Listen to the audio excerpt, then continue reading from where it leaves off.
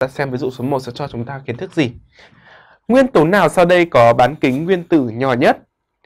Thì khi mà bán kính nguyên tử nhỏ nhất so sánh dựa theo bảng hệ thống tuần hoàn thì chúng ta phải biết được vị trí của các nguyên tố này ở trong bảng hệ thống tuần hoàn là như thế nào các em nhé.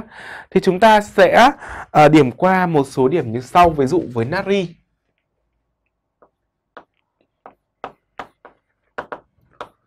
một S2, 2S2, 2P6 và 3S1. Với kali 1S2, 2S2 2P6, 3S2, 3P6 và 4S1. Với nhôm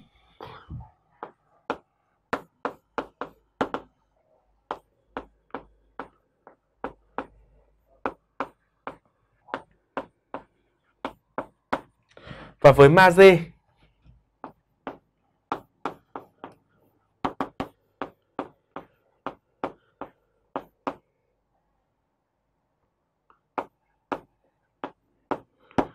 Đến đây rồi chúng ta có thể nhìn thấy như thế này này.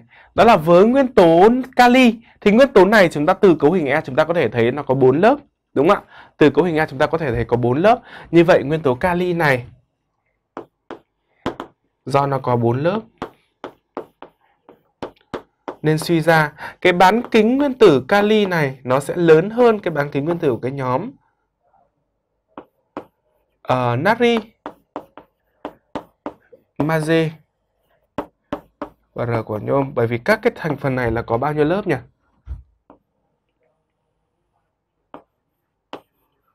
ba lớp. Và đáp án của chúng ta ở đây chính là đáp án B. Được chưa? Đáp án B. À, được chưa? Đáp án B là nguyên tử kali là nguyên tố có bán kính nguyên tử lớn nhất nhé. Nhưng mà trong đề bài này người ta hỏi là nhỏ nhất cơ.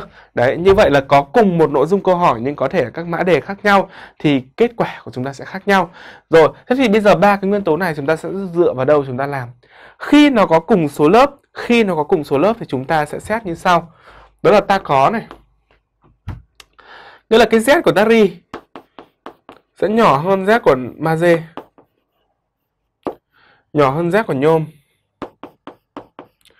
Ba cái Z này khẳng định một điều rằng là cái điện tích dương nó tăng dần.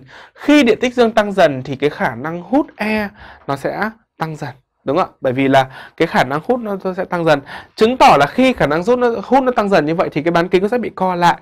Đồng nghĩa với việc là bán kính của natri nó sẽ lớn hơn bán kính của magie. Và hiển nhiên là lớn hơn bán kính của gì ạ?